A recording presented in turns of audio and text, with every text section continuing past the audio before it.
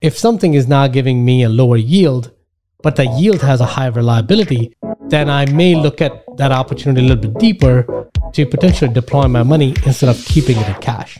Are you ready to transform your life? This is a no nonsense show helping immigrants like you create generational wealth, even while working full time. Get ready to take notes. Here's your host, Saket Jain. Welcome back, everyone. This is Saket Jain with the Migrate to Wealth podcast. As most of you already know, I'm not a proponent of investing in paper assets, stocks, bonds, and mutual funds. So if I don't invest in the stock market, what else do I invest in? Well, there are several different types of asset classes. Let's first define those, right? Real estate, oil and gas, crypto, precious metals, agriculture, and many more. And each of these asset classes have sub asset classes. So much so that one's head may start spinning. And depending on who you're listening to, each asset class is arguably the best asset class since a slice of bread. So, how does one make a decision on what to invest in? Today, I'm going to share with you my own investment philosophy. You may ask, what is an investment philosophy? An investment philosophy is a set of parameters that are utilized to assess an investment. And if an investment does not fit those parameters, in my opinion, it's not even worth analyzing the opportunity. Don't even waste your time. With multiple asset classes to invest in, you have to give yourself a structure to identify things that are worth spending some time on. An investment philosophy provides that structure. Let's take an example. If you've ever talked to a financial advisor, they have always asked you a list of questions to determine what your risk tolerance is. And that is the only vector they use to put you in a box that actually they're incentivized to sell you. Your risk tolerance is X, and you plan to return on Y date, so your mix of stocks and bonds should be Z, right? But let's really define what the risk is. What is risk? In my opinion, risk is in any investment is directly proportional to your understanding of the opportunity. How much do you understand that opportunity? What do you know about that asset class? Are you controlling it or is it being managed by somebody else? And if it's being managed by somebody else, do you know them? Do you know their track record? And what is your ultimate goal with it? And how does an economic downturn impact your investment? And these are some of the questions. These are not in specific order, but these questions need to be answered. A better understanding of these questions will actually inherently make your investments less risky. Now, at the onset, it may seem overwhelming. But once you have a structured approach towards your investment, you start to ease into the process. This structure is what we call as investment philosophy. Now, what is my investment philosophy? The first component of my investment philosophy is cash flow. If you had a chance to talk to me, you know I have a bias towards cash flow. Several moons ago, I used to look at 12% annualized cash on cash return. But with real estate returns getting tighter and tighter, 12% is actually being almost unheard of now. So since then, I've gotten more focused on reliability of the yield versus yield itself. If something is now giving me a lower yield, but the yield has a high reliability, then I may look at that opportunity a little bit deeper to potentially deploy my money instead of keeping it at cash. Because you all know cash at hand loses its value as it waits for the opportunity. This is a concept that my mentor, Robert Kiyosaki, talks a lot about velocity of money, which is how fast your money makes money for you.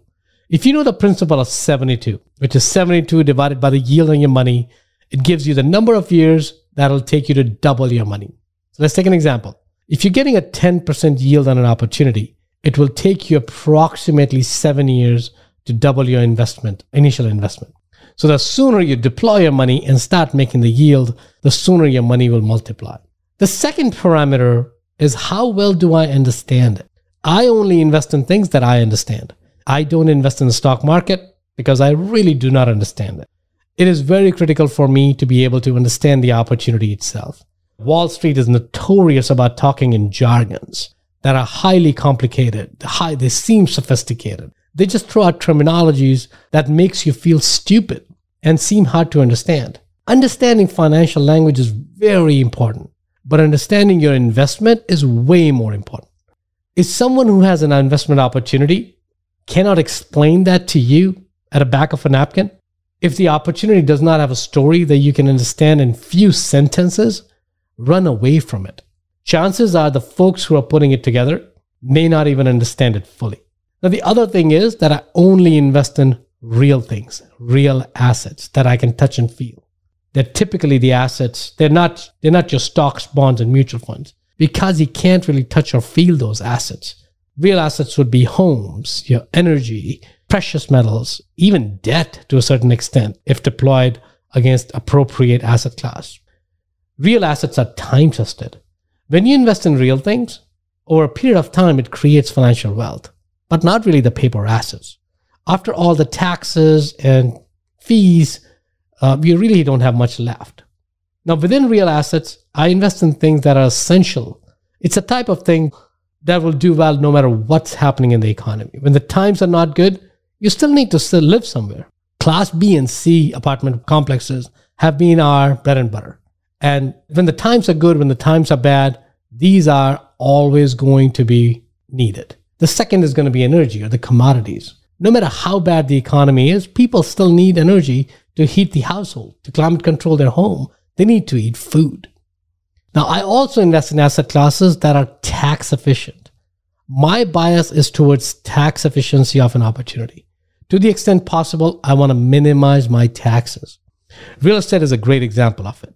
Depreciation when you purchase a property not only minimize the taxes while you're holding it, it also, in certain cases, can be utilized to offset your active income. Can you imagine how powerful that would be? The last one would be who do you invest in? You invest in people that you know, like, and trust. I have to know them personally, their track record, and other people who have invested with them. This business is full of people with low integrity. So you need to make sure you do your due diligence. So, in summary, my investment philosophy includes cash flow, real assets, essentials, tax efficiency, and who do I invest with. If you need help establishing your own investment philosophy, please schedule a call with me. I would be happy to understand your goals and help you develop your own personalized investment philosophy.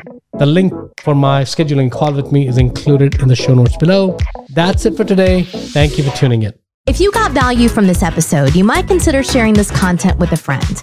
But most importantly, be sure to take action on what you've learned. One way you can take the next step is to connect directly with Saket on an investor call. That link is waiting for you in the show notes below. The content of this podcast is for informational purposes only. Please consult your own advisors when making any investment decisions. Keep listening. We'll see you on the next episode.